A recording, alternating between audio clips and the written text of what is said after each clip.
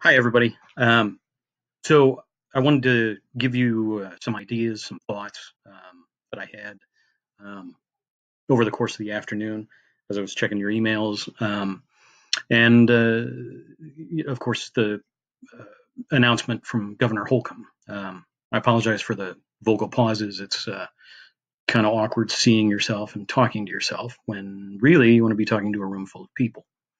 Um, so, May 1st uh, is uh, the, the new statement.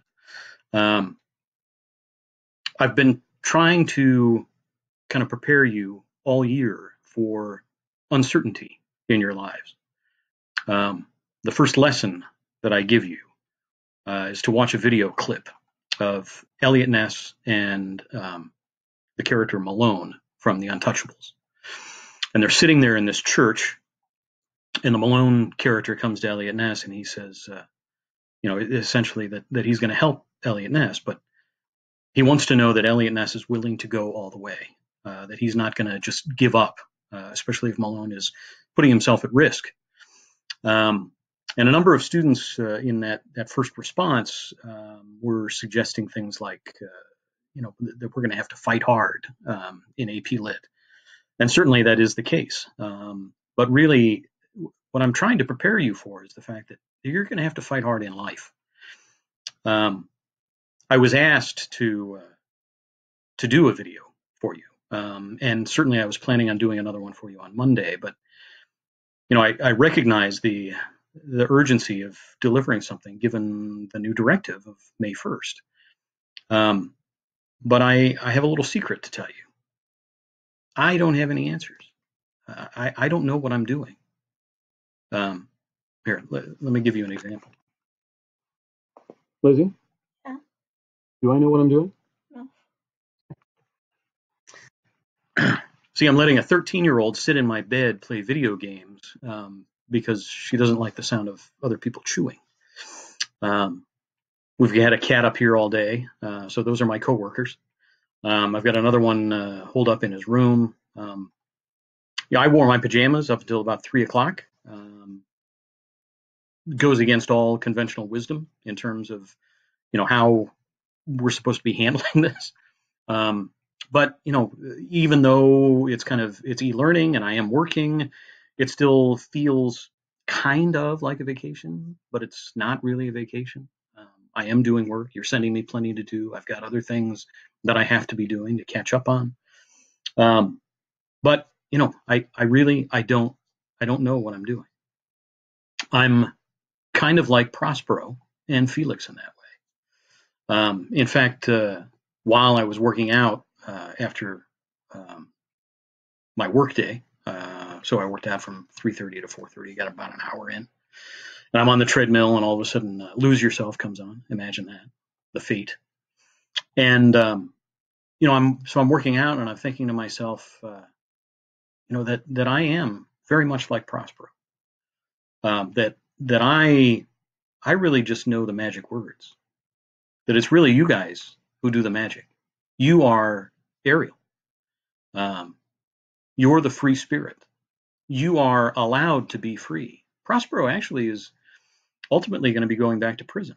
Um, he's no longer a prisoner on the island. Uh, the audience will free him, but he's got to go back to civilization and be somebody who he doesn't know who he's supposed to be.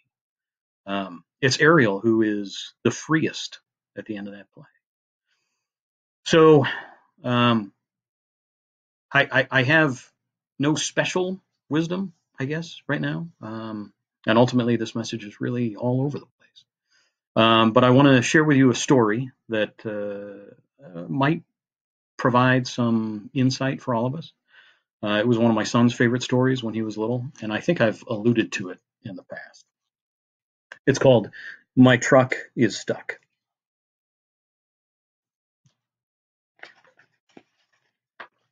My truck is stuck.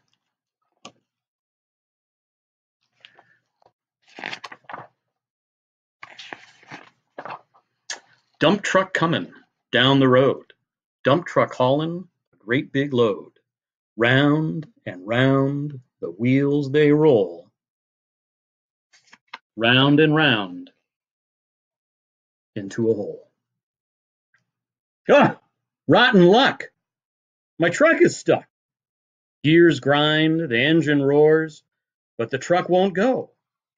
Not one inch more. It's kind of where you are right now. You're stuck. Help, please help. Does anyone know how to make my stuck truck go? Beep, beep, here comes a car full of travelers traveling far. Well, they're not alone. You're not alone. Rotten luck. Can't go. My truck is stuck. Tug and tow.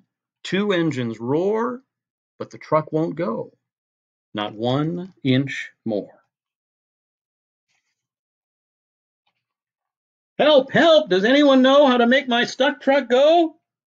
Beep, beep. Here comes a van, driven by a moving man. Rotten luck. Can't go. My truck is stuck. Drag and draw, tug and tow, three engines roar, but the truck won't go.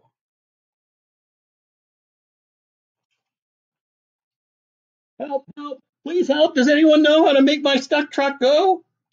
Here comes a Jeep up a hillside, very steep.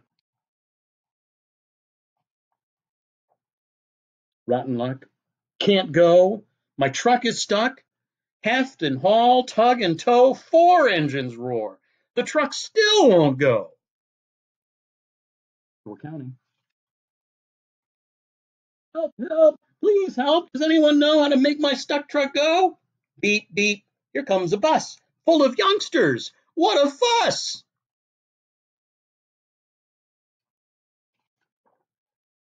They're asking for help. Rotten luck. Can't go. My truck is stuck.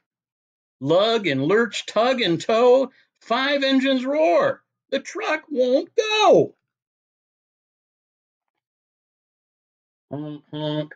No need to panic. Here comes a tow truck with a mechanic. Mr. Mechanic, I'm sure you know how to make my stuck truck go. Sure, to move it on its way, just hook it up, and then you'll say, What luck! My truck's not stuck. Vroom, vroom. Now car and bus, bus and car and van and jeep and bus all move on without a fuss.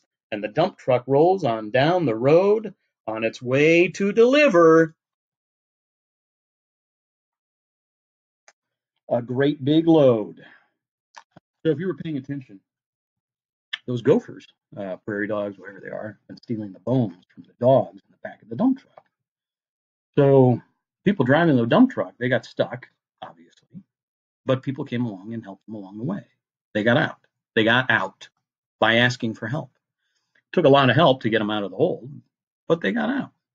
At the same time, at the very end, they don't have a load of bones to deliver to anybody. So they're they're out of luck their expectations were turned upside down. Um, things just didn't go their way, but they're out of the hole. That's life.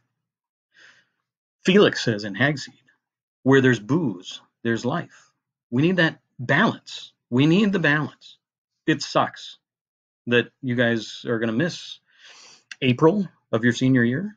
Um, you know, it's who knows what's going to happen at the end. Um, we don't know, uh, and I'm going to be hopeful. I'm going to be hopeful for you. Um, but this is this is not the end of the world. This is not the end of the world. Fall will come. You'll go off to school, or maybe not. But at some time, this will be over. This will end. And tomorrow will be a new day. There will be a new opportunity. Right now, it feels awful. It feels terrible. Uh, it feels like the end of the world. I have felt moments that have felt like the end of the world. But this moment is not the end of the world. You will get by. You'll get through. Think about uh, that we grow accustomed to the dark. Think about choices. Both of those poems are going to come back to us when we start reading Heart of Darkness. This will pass. For now, remember that. Think about what happens in the Tempest. Think about the ending. When is it that they leave the island? They leave at the start of a new day. They leave in the morning. Morning will come. Morning will always come. It's one of the things that we can count on. There's going to be some very deliberate music choices that I'll be sharing with you in the coming days. Um, I gave you one today. That was on purpose. Um, just stay in touch if you need me. Um, and I'm going to experiment with some of these different tools and we'll see what happens. We'll see what comes of them. Um, if we need to do more face to face, if you need me to call you, let me know. I'll give you a call. Okay? Take care. I love you in a school appropriate way.